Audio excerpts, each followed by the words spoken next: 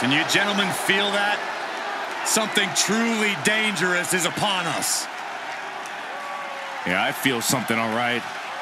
Actually, I see something straight out of a nightmare. We know so little about this individual.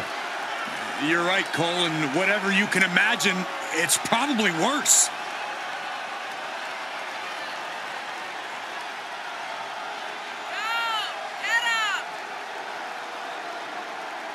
This man has such a haunting laugh.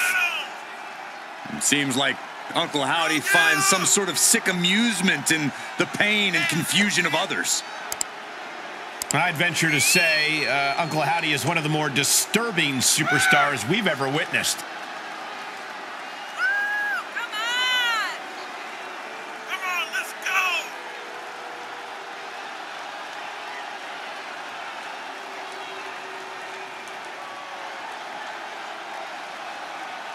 Well, we have had questions for months about Uncle Howdy. I wonder if we're finally about to get some answers. Well, we're about to find out if he's as frightening in the ring as he is on screen.